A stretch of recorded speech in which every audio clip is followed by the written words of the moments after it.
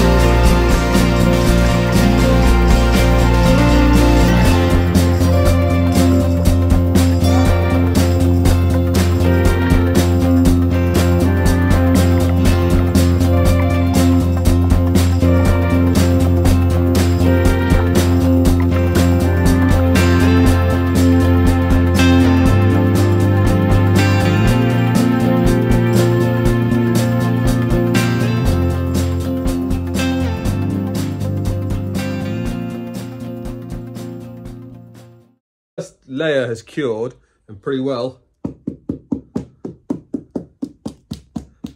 It's really cool. It's pretty solid everywhere else. It, it, it's quite still quite thin. You can still push it and it, it will move.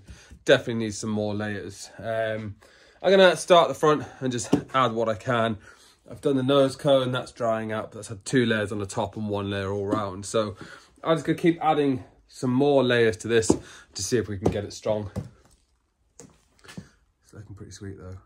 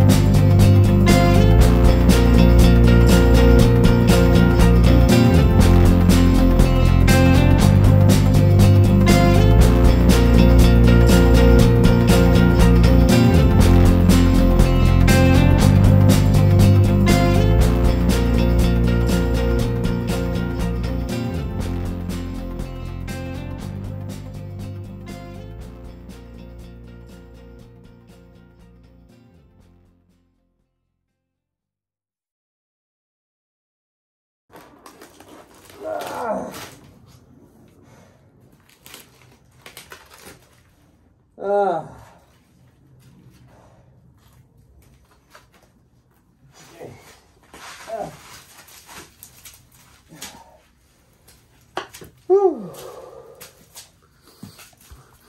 That was a struggle.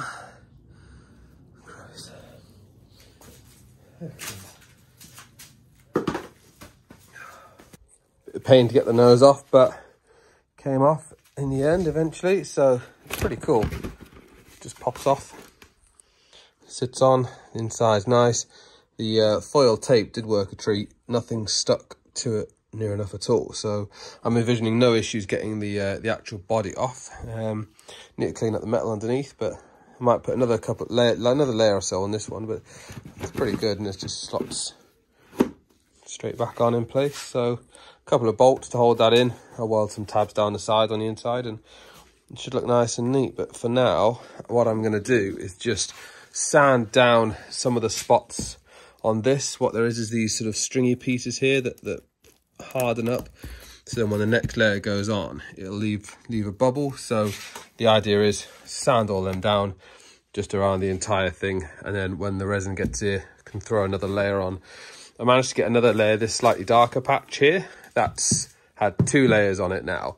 And that's really, really pretty solid. It's, it's, it's probably solid enough for what I need. So I'll definitely get a second layer over the lot of this and then possibly I'll do some reinforcing just around the top up here. But at the moment, it's looking pretty good. So I'll sand it down, clean it up a bit, and then prep it, prep it for the next layer.